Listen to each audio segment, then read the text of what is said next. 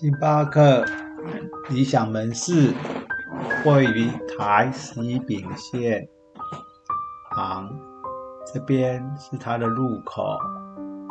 从入口进来之后，你可以看到童话屋，这是一个非常特别的造型。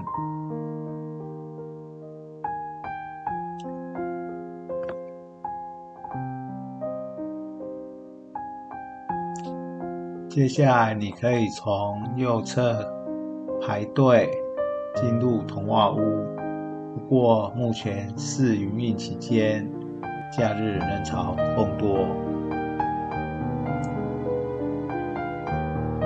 童话屋的后方有一片湖，旁边有落雨松。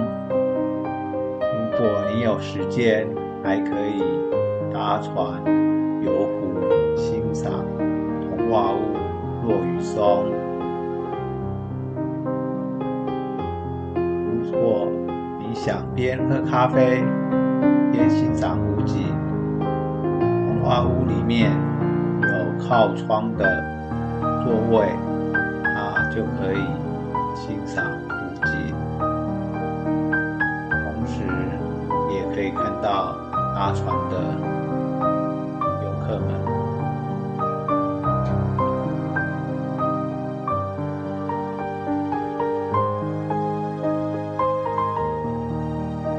左侧是落雨松森林。如果你对落雨松有兴趣，也可以到左侧欣赏落雨松。或目前试营运期间。还有很多的路线都没有开放，你只能走一小段。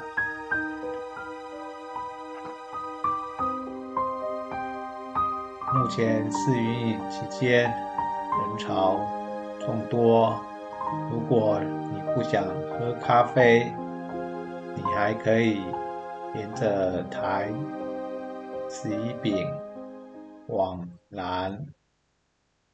大约一公里处，那边的农田有台湾黄牛。台湾黄牛这边有非常多只，而且你仔细看，还可以看到黄景字。当我们来到台湾黄牛的农田时，有一只黄牛特别过来迎接我们，跟我们打招呼：“嗨，你好。”打完招呼，那就回去继续吃它的草。以上就是星巴克理想门市，你可以。逛的地方。